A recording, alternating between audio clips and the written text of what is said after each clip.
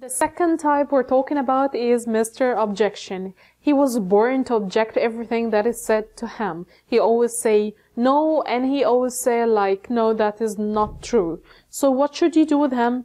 Again, do not go into an argument with him. Usually people like this, uh, the argument will make them, you know, more eager to keep going. So you can simply tell them, what well, this seems like a very controversial point. How about we discuss it after the class? Usually they will drop the topic and they will not discuss it after the class.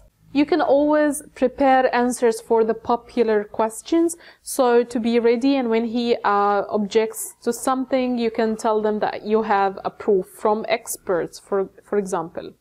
And always try to, uh, you know, be smiley and cheerful and try to give the audience opinion in what he says. So instead of you answering his objections, the audience can give opinion in what he's saying. So this way you are outside this problem.